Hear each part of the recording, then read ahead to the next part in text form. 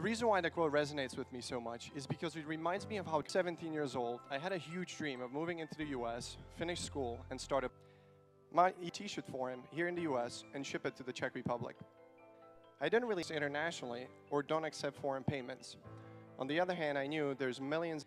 So I started attending these seminars, and that's where I came across a very strange dude who's been there, he's done it, he sold and exited his business. At the statewide collegiate competition, upper judges might solve this problem. They loved it so much that they thought that FAU and me, best accomplishment so far, and at that point I knew there's no ease and young people like me to succeed in their business. And that's exactly what they've done for me. They've provided me with capital, space, all the resources that are available to you on the internet, on YouTube,